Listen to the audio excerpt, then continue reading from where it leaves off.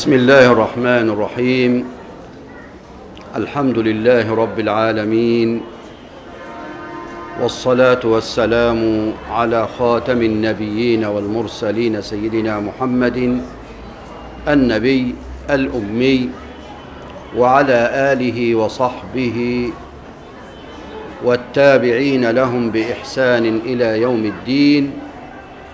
سبحانك ربنا لا علم لنا إلا ما علمتنا إنك أنت العليم الحكيم. ربنا افتح بيننا وبين قومنا بالحق وأنت خير الفاتحين. وبعد موضوعنا اليوم إن شاء الله تعالى جمع القرآن الكريم. في هذا الموضوع سوف نتناول أو نبين لحضراتكم معنى جمع القرآن الكريم بمعنييه أو بالمعنى الأول والمعنى الثاني. ثم نبين إن شاء الله المراحل التي مر فيها جمع القرآن الكريم. الجمع الأول كان في عهد سيدنا رسول الله صلى الله عليه وسلم ثم الجمع في عهد سيدنا أبي بكر رضي الله عنه وأخيرا الجمع الذي كان في عهد سيدنا عثمان رضي الله عنه. ورضي الله عن صحابة رسول الله صلى الله عليه وسلم. جمع القرآن جمع الشيء معناه في اللغة استقصاؤه والإحاطة به. تقول مثلا جمع فلان علم كذا يعني إيه؟ استوعبه. فكلمة الجمع في اللغة لها معنيان. إما معناه حفظه في الصدور والمعنى الثاني حفظه في السطور. يعني الكتابة المعروفة. إذا معنى كلمة الجمع لها كم معنى؟ لها معنيان. ده في لغة العرب اللغة العربية. يبقى المعنى الأول جمعه بمعنى حفظه في الإيه؟ في الصدور. اللي هو الحفظ المعروف.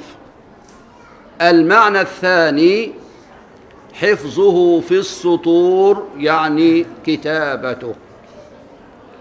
ولذلك المؤلف بدأ بهذا الموضوع قوله بقوله جمع الشيء معناه في اللغة استقصاؤه والإحاطة به.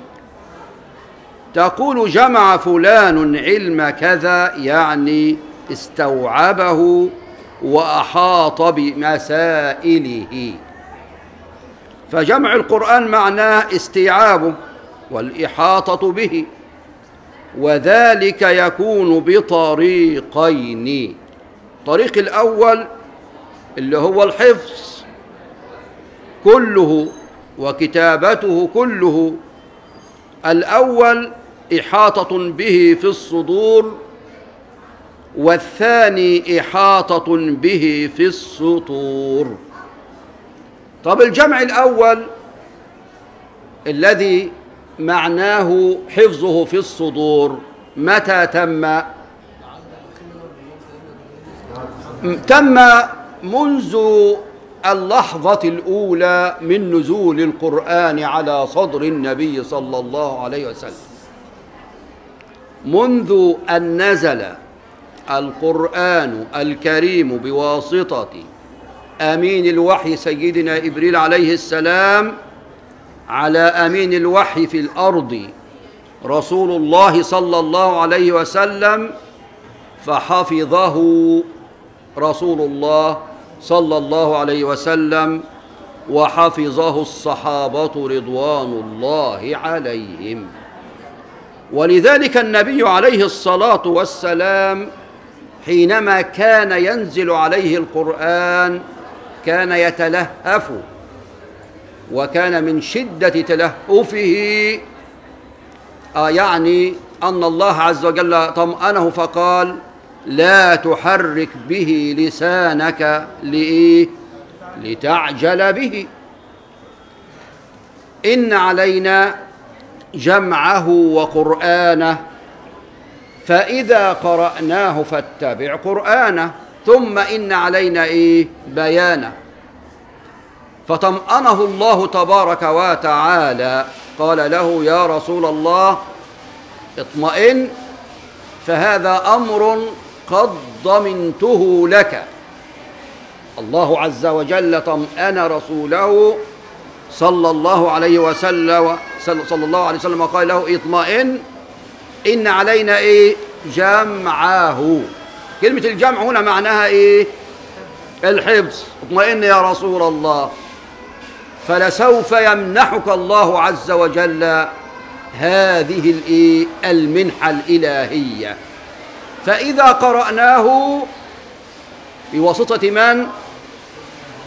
بواسطة أمين الوحي.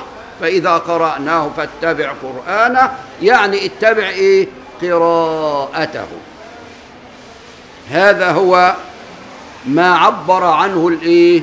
المؤلف اللي هو صاحب الكتاب اللي إحنا بنشرح منه المحاضرات وقد ورد التعبير به أو في الروايات الصحيحة لمن حفظه كله وكتابته كله بحفظ الجمع فمن الأول ما ورد أن أنسا سيدنا أنس بن مالك رضي الله عنه سئل عمن جمع القرآن في عهد رسول الله صلى الله عليه وسلم سيدنا أنس سأله سائل عن الذين جمعوا القرآن في عهد من؟ في عهد سيدنا رسول الله صلى الله عليه وسلم يعني المقصود بالجمع هنا الإيه؟ الكتابة ولا الحفظ؟ الحفظ لأنه لسه أو لا زال الوقت لم يأتي حتى يعني يجمع القرآن بالمعنى الثاني اللي هو الكتابة لما سئل عن ذلك فماذا قال سيدنا أنس قال عبد الله بن عمرو جمعت القرآن فقرأت به كل ليلة. ومن الثاني قول أبي بكر لزيد بن أبي زيد زيد بن ثابت رضي الله عنه تتبع تتبع القرآن فاجمعه. يعني ابحث عنه عند من؟ الذين كانوا يجمعون القرآن. من فم النبي صلى الله عليه وسلم. يعني اكتبه كله وسيأتي هذا الحديث في حينه إن شاء الله. جمع القرآن بمعنى حفظه على عهد سيدنا رسول الله صلى الله عليه وسلم. نأخذ مرحلة مرحلة إن شاء الله. يبقى المعنى الأول اللي هو ماذا؟ جمع القرآن بمعنى حفظه على عهد سيدنا رسول الله صلى الله عليه وسلم لقد كان في ذلك العهد عوامل كثيرة تدعو إلى تلاوة القرآن وحفظه كان في هناك عوامل كثيرة تدعو إلى ماذا؟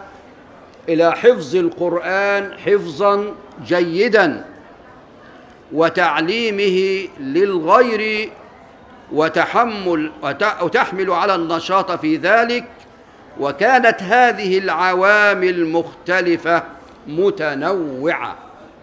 إيه العوامل ديت يا إخوانا إيه العوامل التي ساعدت الصحابة رضوان الله عليهم على أن يحفظوا أو على أن يجمعوا القرآن الكريم بالمعنى الأول؟ قالوا أو قال العلماء فمنها ما يرجع إلى ظروف العرب أنفسهم. العرب كان لهم ظروف خاصة بمعنى كانت ذاكرتهم ذاكرة قوية. ومنها ما يرجع إلى عظمة القرآن في ذاته لأن القرآن في أكثر من موضع ماذا قال؟ ولقد يسرنا القرآن للذكر فهل من مدكر؟ يعني القرآن سهل. المهم إن أنت الله سبحانه وتعالى يشرح لك صدرك. ومنها ما يرجع إلى الترغيب في تعلم القرآن وتعليمه. يعني هناك ترغيب وهناك حث في أكثر من موضع في أكثر من رواية لرسول الله صلى الله عليه وسلم. فأنت حينما تسمع مثلا يعني حديث من هذه الأحاديث تكون داعية إلى أن تحفظ القرآن الكريم كقوله صلى الله عليه وسلم من قرأ حرفا من كتاب الله فله به إيه؟ حسنة يعني أنت لما تسمع هذا الحديث هذا سيدفعك إلى أن يعني تحفظ القرآن أو تحفظ, أو تحفظ ما ييسر الله لك من حفظه من قرأ حرفا من كتاب الله فله به إيه؟ حسنة والحسنة بعشر أمثالها. لا أقول ألف لام ميم حرف ولكن ألف حرف ولام حرف وميم حرف. أيضا خيركم من تعلم القرآن وعلمه. لما تقرأ هذا الحديث أو تسمع هذا الحديث فيكون لك إيه؟ دافع إلى أن تتعلم وأن تحفظ وأن تعلم هذا القرآن لغيرك لا لنفسك فقط فخيركم من تعلم القرآن وإيه وعلمه. يعني هذا أمر. يبقى يبقى هذا أيضا يرفع الله الذين آمنوا منكم والذين أوتوا العلم إيه درجات. حينما تتعلم هذا العلم وخاصة ما يتعلق بكتاب الله عز وجل يرفعك الله سبحانه وتعالى ليس في الدنيا فحسب ولكن في الدنيا والإيه والآخرة. هذه طبعا ديت يعني أمور يعني ترغب الإنسان لحفظ والإقبال على كتاب الله عز وجل. ونحن إن شاء الله بعد أيام سنقبل أو سيدخل علينا ضيف عزيز علينا سيكون همنا وشغلنا الشاغل ليل نهار هو كتاب الله تبارك وتعالى. أما ما يرجع إلى ظروف العرب أنفسهم فإن البيئة نفسها كانت بيئة إيه؟ يعني مناسبة جدا لكي تكون الذاكرة ذاكرة يعني نظيفة تستوعب ما تحفظه وخاصة ما يتعلق بكتاب الله عز وجل. وما فيها من سماء صافية. فالوقت ليس كما نعيش الآن. كل ما يعيشه المسلم الآن يعني الأوقات لا تساعد. لكن إلا إذا حاول الإنسان فسوف يهيئ الله له الظروف التي تتيح له وتكون عاملا مساعدا لحفظ كتاب الله تبارك وتعالى. أما ما يرجع إلى ظروف العرب كما قلنا أنفسهم فإن بيئتهم الطبيعية وما فيها من سماء صافية وشمس مشرقة وصحراوات واسعة يندفع فيها ضيق الصدر وانقباض النفس كانت بمزاياها هذه لها أثر الكبير في نشاط أنفسهم. طبعا هذه علامات لا شك أنها تساعد الإنسان على ماذا؟ على تحصيل العلم وخاصة القرآن الكريم. طبعا هناك عوامل أخرى هي ذات الشأن الكبير في هذا المقام لتعلقها واتصالها بالقرآن الكريم نفسه. وهذه العوامل منها ما هو خاص بالرسول صلى الله عليه وسلم ومنها ما هو خاص بالصحابة رضوان الله عليهم ومنها ما هو مشترك بين الجميع. يعني هناك عوامل مشتركة. إما هذه العوامل تعود إلى سيدنا رسول الله صلى الله عليه وسلم أو تعود إلى صحابته الأجلاء أو أن هذه العوامل هي عوامل مشتركة بين المعلم والقائد. سيدنا رسول الله صلى الله عليه وسلم وبين صحابته الكرام عوامل حفظ القرآن الخاصة بالرسول صلى الله عليه وسلم ما هي؟ طبعا هناك عوامل كثيرة نذكر منها مثلا على سبيل المثال تلقيه عن جبريل عليه السلام فالقرآن يأخذه عن من؟ عن سيدنا جبريل عليه السلام مع كون الله تعالى ضمن له بهذا التلقي أن يجمعه له في صدره كما ذكرنا الآية لا تحرك به لسانك لإيه؟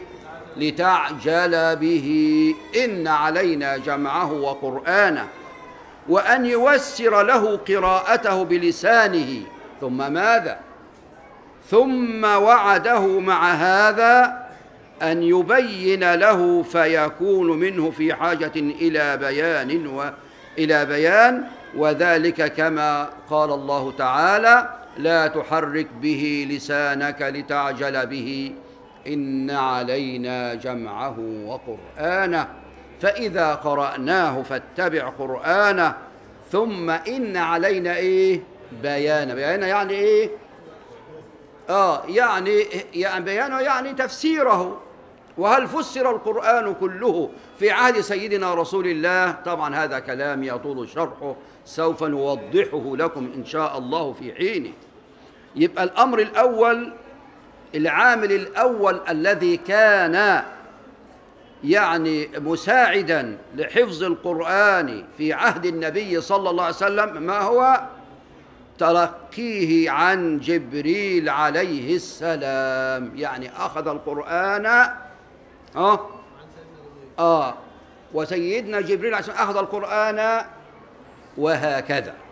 الأمر الثاني أو العامل الثاني إملاؤه للقرآن على كتاب الوحي. يعني سيدنا رسول الله يقول لمن كان مسؤولا عن كتابة الوحي ضعوا هذه حينما كان ينزل عليه الآية الك... الآية الآية الكريمة أو الصورة الكريمة يدعو النبي صلى الله عليه وسلم كتاب الوحي. وهم معروفون ضعوا هذه الآية في الصورة التي يذكر فيها كذا. ويحدد النبي صلى الله عليه وسلم موضع الإيه؟ الصورة الكريمة. يعني معنى ذلك أنها أسماء الصور بهذا الكلام أو من خلال هذا القول يعني يفيد ماذا؟ أن أسماء الصور القرآنية أسماء توقيفية اللهم إلا هناك بعض الأسماء تحدث عنها العلماء وأضافوا إليها كصورة الفاتحة وغيرها من الصور الكريمة يبقى الأمر الثاني أو العامل الثاني ما هو أه؟ إملاؤه إملاء من؟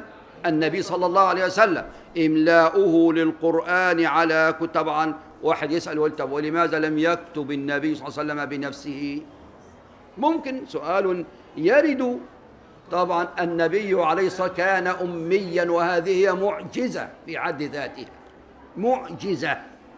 ليؤكد أن القرآن هذا ليس من كما يدعي البعض أنه من كلام النبي صلى الله عليه وسلم وإنما هو من إيه؟ من عند الله تبارك وتعالى وإنك لتلقى القرآن من إيه؟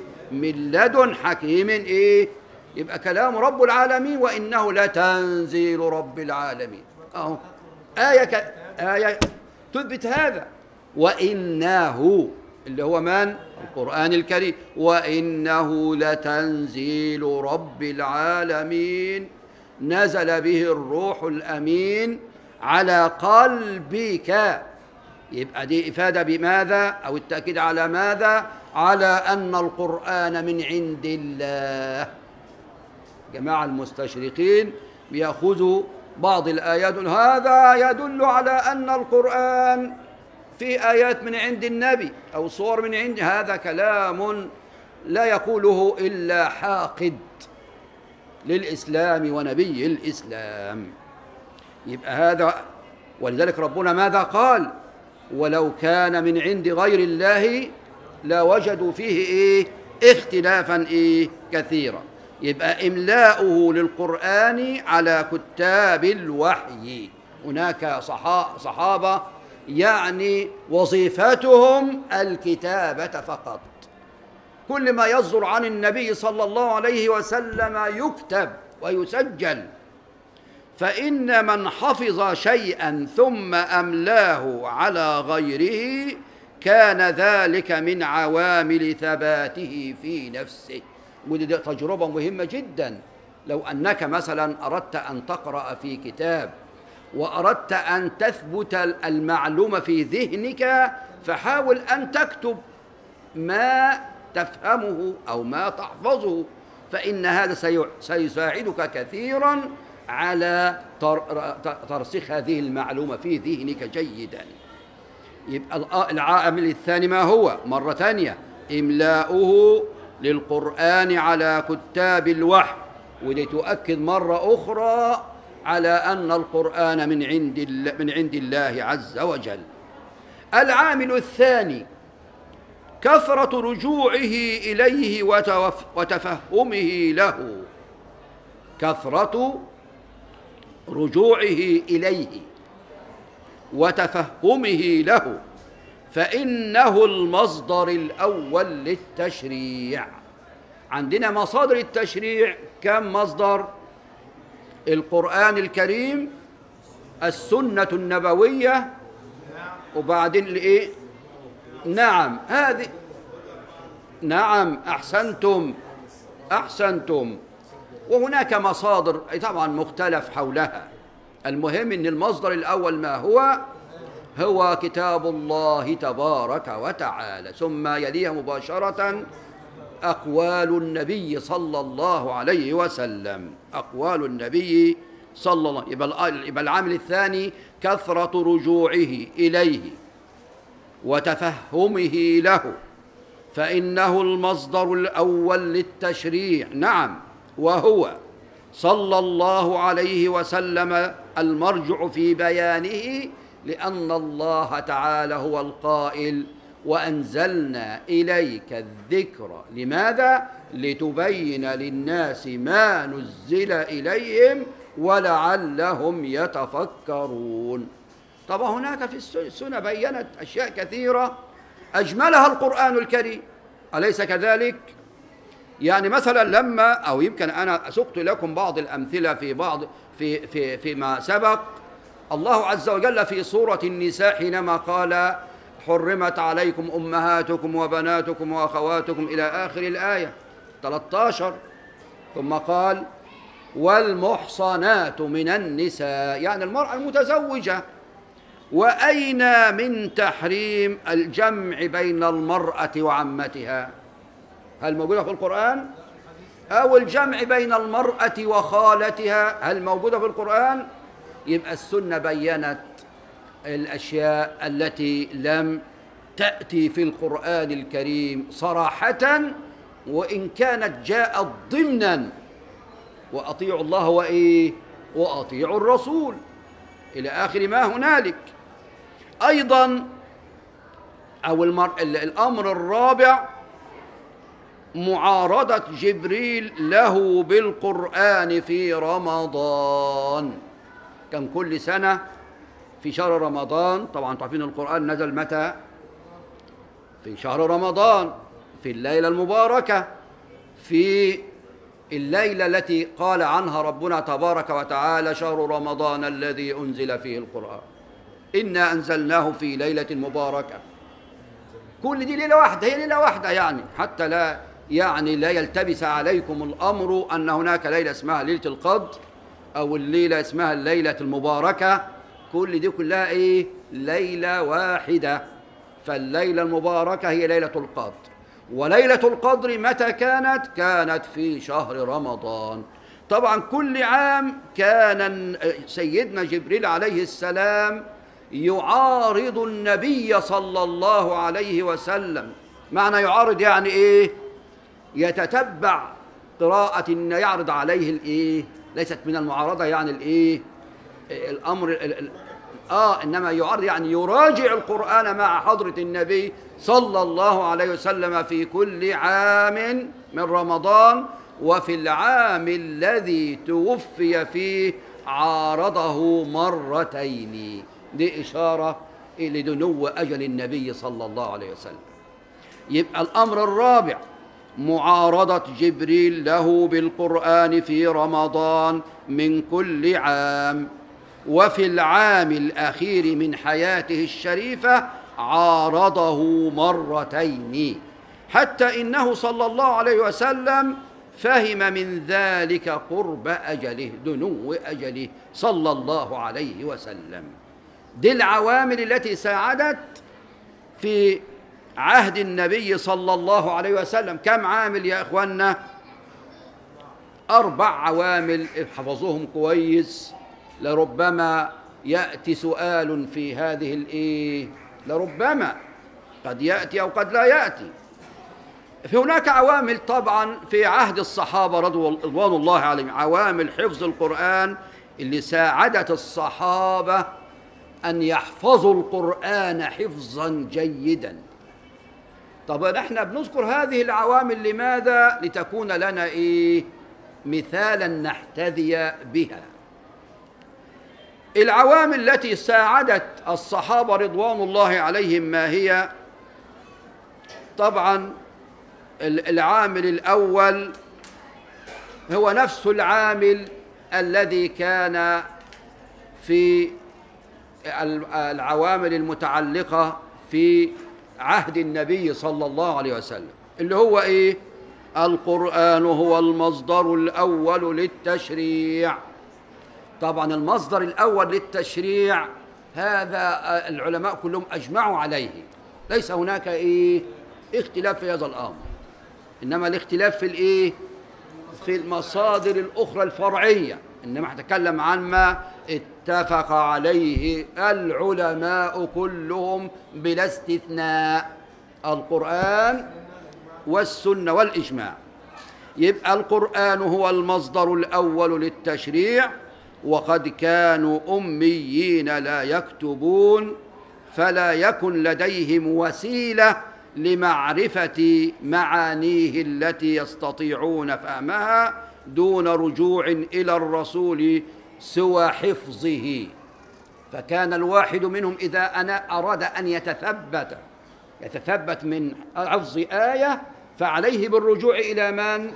إلى الأستاذ والقائد والمعلم رسول الله صلى الله عليه وسلم. طب الأمر الثاني يا أخوانا ما ورد أن القرآن يشفع يوم القيامة؟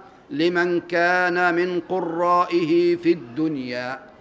لما أنت تقرأ هذه الحديث مثلا ده يعمل لك نوع من يرغبك ترغيبا شديدا في حفظ القرآن. لما تعرف أن القرآن ده سيشفع لك عند الله عز وجل سيكون حافز أنك أنت إيه تحفظ القرآن الكريم وتحاول أن تلازم على حفظ القرآن الكريم. يبقى ما ورد أن القرآن يشفع يوم القيامة لمن كان من قرائه في الدنيا.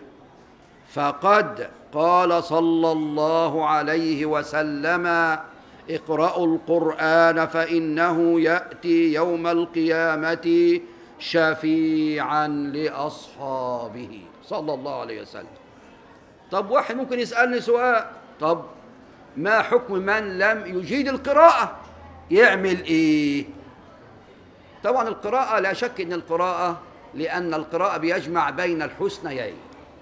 القراءة يجمع بين الحسن بين القراءة والإيه؟ القراءة والإيه؟ إقراء والإيه؟ والسماع. يبقى الاثنين معا.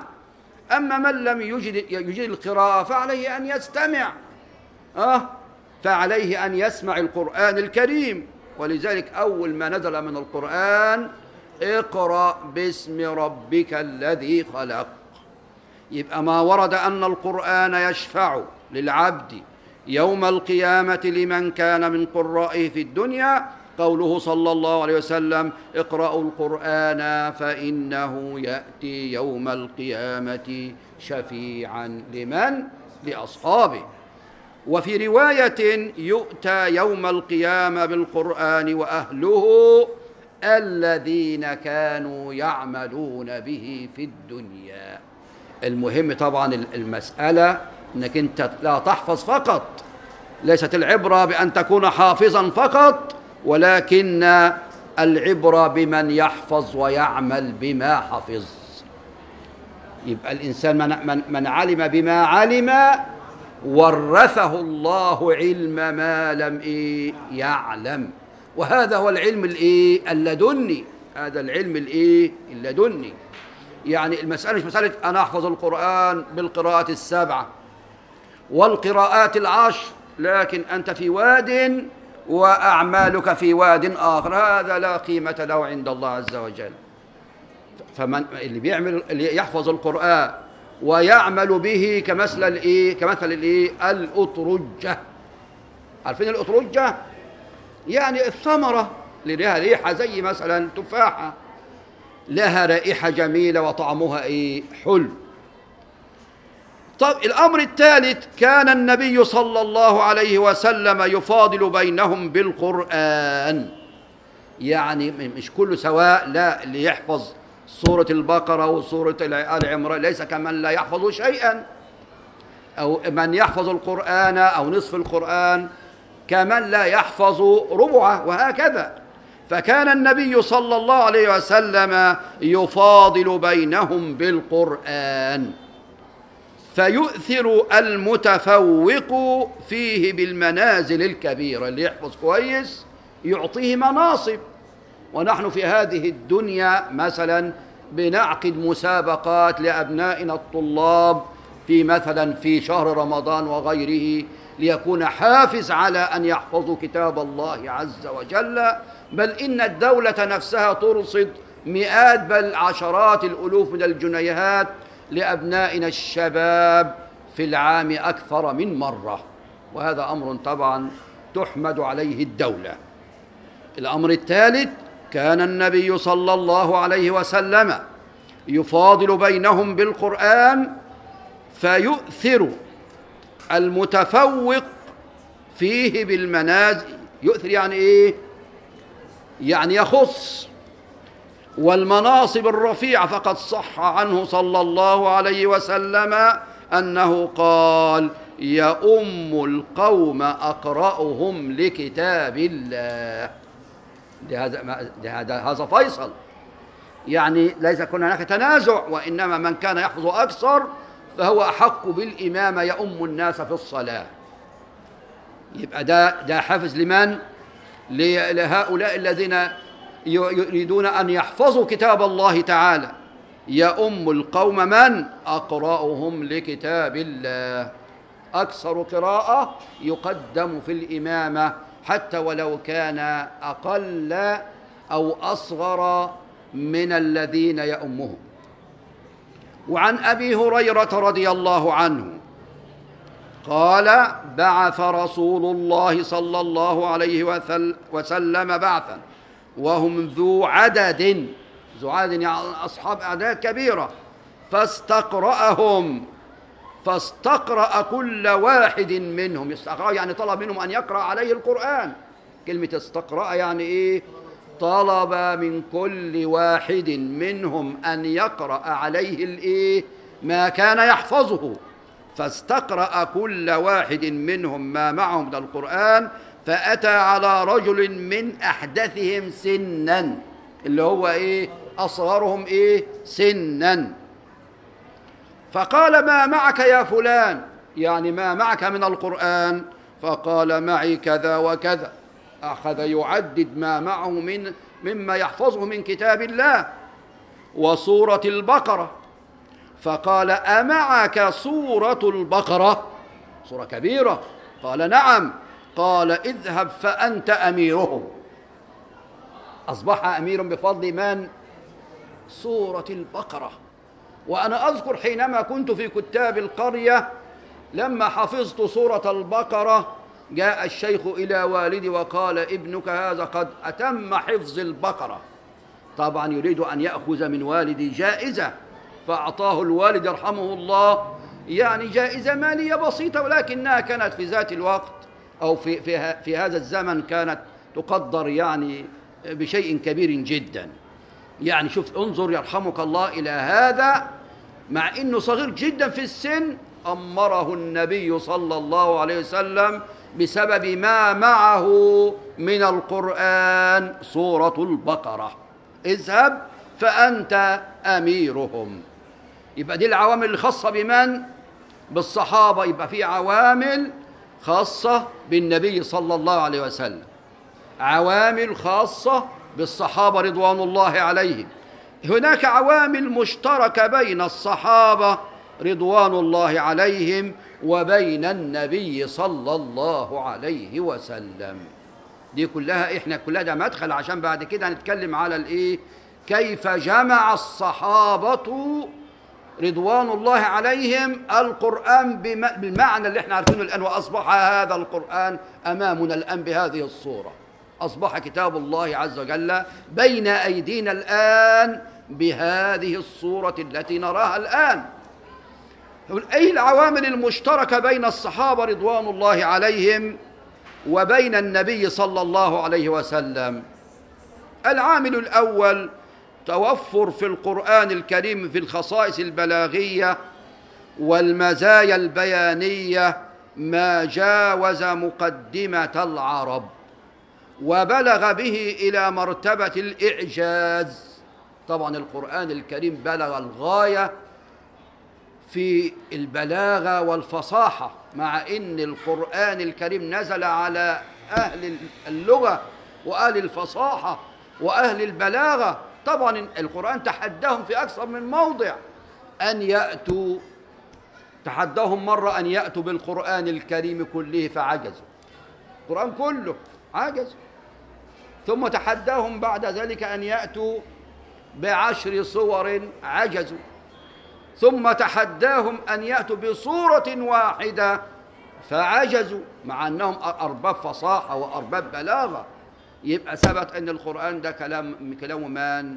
كلام الله تبارك وتعالى. اسمها اسمها مراحل الإيه؟ التحدي. مراحل التحدي. يبقى تحداهم أولا بالقرآن كله أولا عجزوا. عشر صور ثم يبقى كم كم مرحلة؟ تسمى هذه المراحل بمرحلة ماذا؟ مراحل التحدي. يبقى الأول توفر في القرآن الكريم أو توفر في القرآن الكريم من الخصائص البلاغية والمزايا البيانية ما جاوز مقدرة العرب. يعني عندنا في آية قصيرة جدا في قول في قول الله تعالى إيه؟ مثلا أي آية؟ اختر أي آية في القرآن الكريم. تجد فيها إعجاز والإعجاز على أشكاله وأنماطه. إما أن يكون إعجاز تشريعي إعجاز بلاغي إعجاز بياني إعجاز عددي. ولا أدل على ذلك من الحروف المقطعة التي بدأت بها بعض صور القرآن الكريم. وأنا طبعا ذكرت لكم هذا النموذج في المحاضرة السابقة. الحروف المقطعة اللي بدأت بها بعض صور القرآن الكريم وهي كم صورة؟ أه؟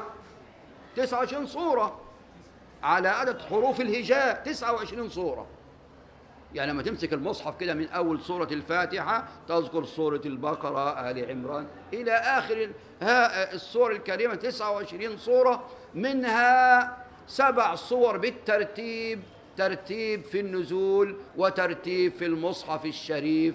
من أول سورة غافر فصلت الشورى الزخرف الدخان الجاثية الأحقاف. كل هذه الصور كلها مرتبة ترتيبا في النزول وترتيبا في المصحف الشريف. هذا إعجاز إعجاز. نعم.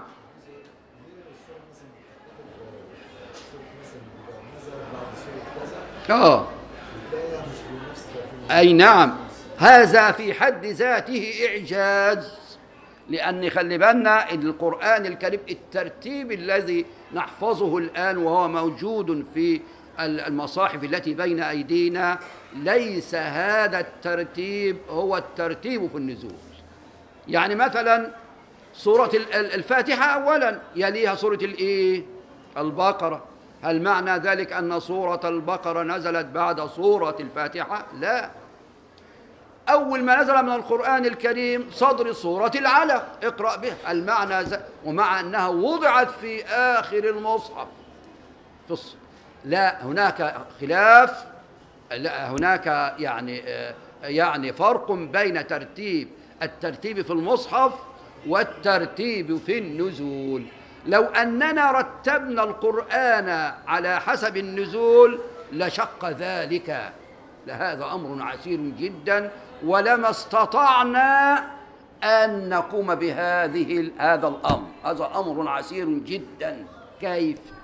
كيف نضع هذه الآية بعد هذه الصورة وبعد هذه الآية بعد هذه هذه الآية هذا أمر صعب جدا. يبقى وبعدين نحن هذا هذا الترتيب ترتيب كما قلنا ترتيب توقيفي. النبي عليه الصلاة والسلام كان يقرأ سورة البقرة ثم يليها آل عمران وهكذا. يبقى ترتيب. إحنا لا لا يستطيع أحد أن يتدخل في هذا الأمر لأن أمر إيه؟ توقيفي. يبقى سورة الفاتحة البقرة آل عمران النساء المائدة الأنعام. إلى آخر سورة الناس هذا ترتيب. اسمه ترتيب إيه؟ مصحفي. ولذلك كما قال أخونا بارك الله فيه لماذا نقرأ أن سورة كذا نزلت بعد سورة كذا. أمر توقيفي. يعني لا مجال للإجتهاد. يعني ليس هناك أو لا يستطيع عالم أن يقول لا هذا أمر بعدك لا إنما أمرنا بالاتباع في هذه المسائل. طبعا صور الحوميم بالذات على وجه الخصوص نزلت مرتبة هكذا نزولا وترتيبا. يعني لما تقرأ افتح المصحف كده مثلا سورة إيه؟ آه مثلا آه آه فصلت. نزلت بعد سورة السابقة اسمها إيه؟ وهكذا. يعني ترتيبا متناسبا نزولا وترتيبا مصحفيا. وهكذا. يبقى إذا الأمر الأول كما قلت لكم اللي هي الأمور المشتركة. أو العوامل المشتركة بين النبي صلى الله عليه وسلم وبين الصحابة الأجلاء؟ أول شيء إيه؟ توفر في القرآن الكريم من الخصائص البلاغية والمزايا البيانية. وطبعا العلماء أو علماء البلاغة خاصة ضربوا لنا أمثلة كثيرة في هذا الأمر وقالوا مثلا مثال ذلك إيه؟ ولكم في القصاص حياة يا أولي الألباب. طبعا انت درست هذا الأمر. عندك في الكليه يعني شوف مع مع إيجاز هذه الآية إلا ان فيها بلاغه كبيره جدا. العلماء تكلموا فيها وأوصلوا هذه هذه الأوجه إلى عش تقريبا عشرين وجها من أوجه البلاغة. مثلا خذ العفو وأمر بالعرف وأعرض عن الجاهلين. بعض الناس مثلا كتب في البلاغة أو الأمور المتعلقة المتعلقة بالبلاغة في آية الدين اللي هي أطول آية في القرآن الكريم. يا أيها الذين آمنوا إذا تداينتم بدين كتبت يعني مؤلف في هذا الأمر واستنبط لنا الوجوه البلاغية من خلال آية الدين. والقرآن الكريم غني بهذا. الأمر الثاني ما في تلاوته من الأجر العظيم والثواب الجزيل. قال الله تعالى إن الذين يتلون كتاب الله وأقاموا الصلاة وأنفقوا مما رزقناهم سرا وعلانية يرجون تجارة لن يعني هذا أمر مشترك. أو هذا عامل من العوامل الإيه؟ المشتركة بين النبي صلى الله عليه وسلم وبين صحابته الأجلاء. أيضا قوله صلى الله عليه وسلم كما قلت لكم منذ قليل خيركم من تعلم القرآن وعلمه.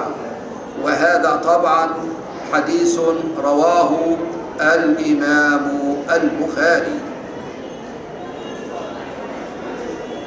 إلى غير ذلك من الأحاديث الكثيرة جدا.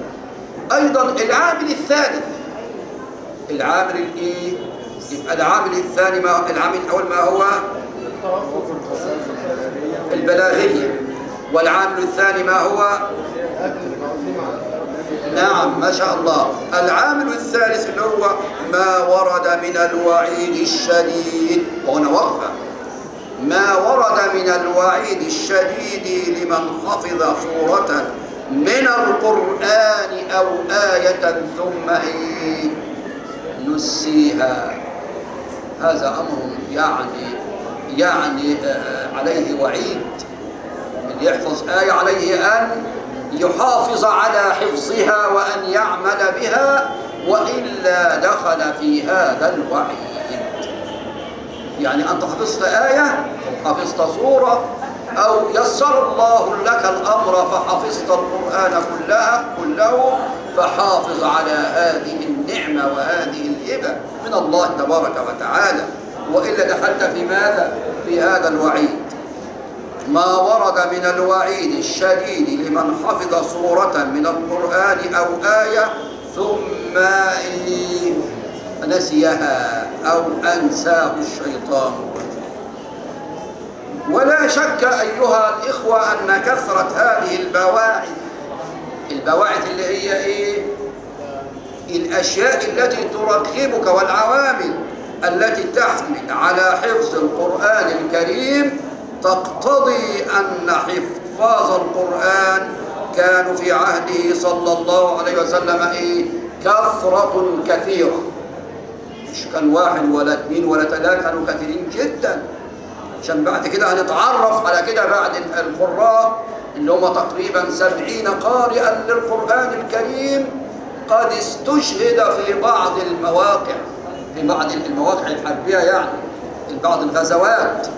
ولذلك كان آه كان كان الهدف إن إن القرآن يجمع كما حدث في عهد سيدنا أبي بكر رضي الله عنه وهذه العله من هذا الأمر.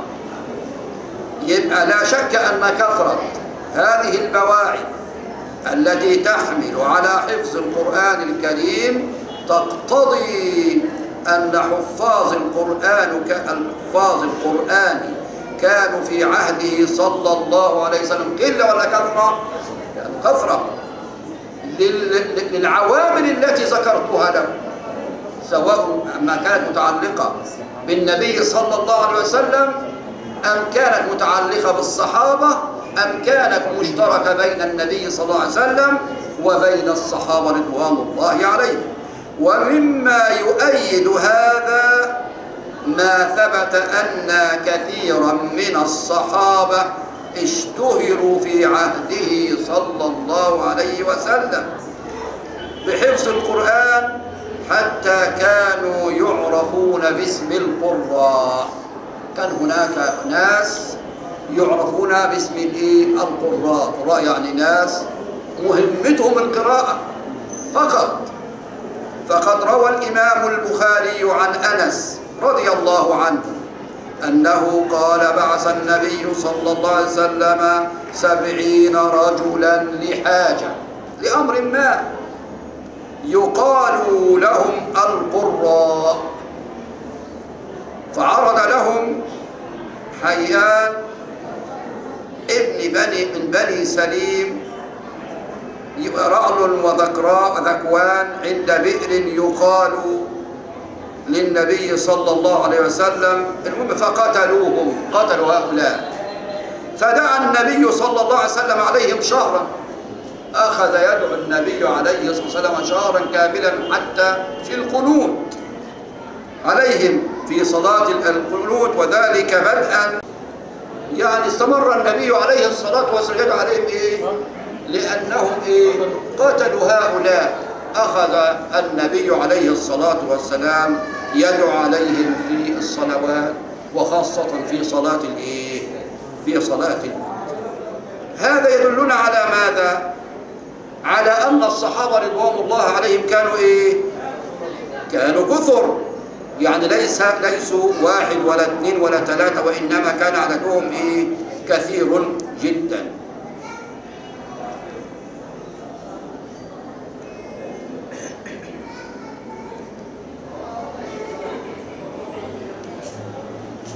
وروي من حديث عن أنس قال مات النبي صلى الله عليه وسلم ولم يجمع القرآن غير أربعة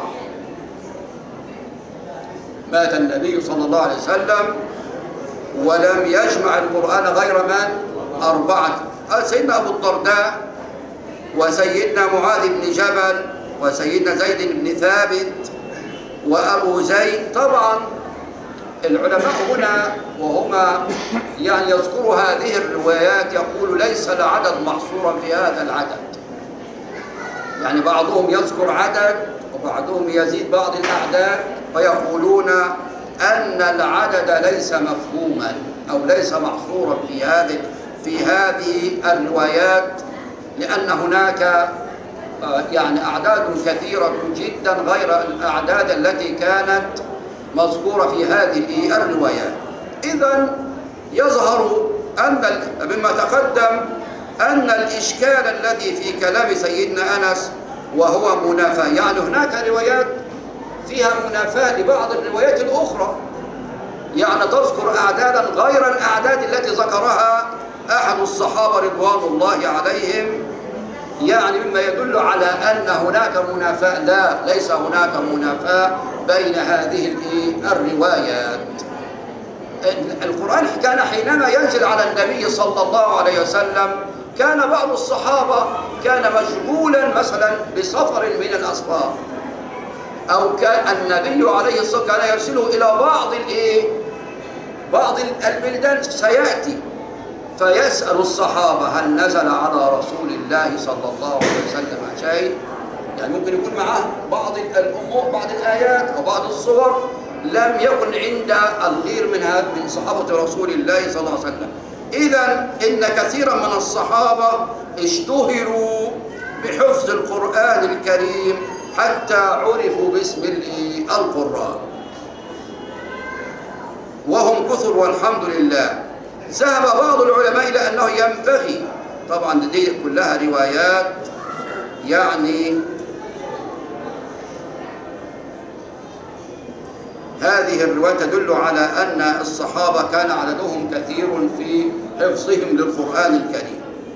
طب جمع القرآن بمعنى كتابته. إحنا انتهينا من إيه؟ جمع القرآن بمعنى إيه؟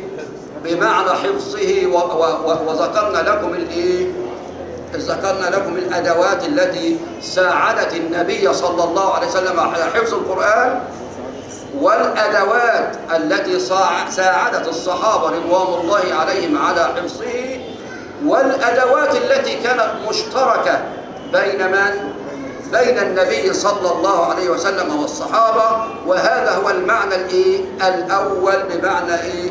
حفظ القرآن في الصدور المعنى الثاني إن شاء الله بمعنى المعنى الثاني اللي هو بمعنى الإيه؟ الكتابة سوف نعيش معه إن شاء الله المحاضرة القادمة إن شاء الله. يبقى أخذنا المعنى الأول وهو حفظ القرآن بمعنى حفظه في الصدور. المعنى الثاني حفظه في الإيه؟ في الصدور. فنكتفي بهذا ونسأل الله لنا ولكم الهداية والتوفيق. والسلام عليكم ورحمة الله تعالى وبركاته.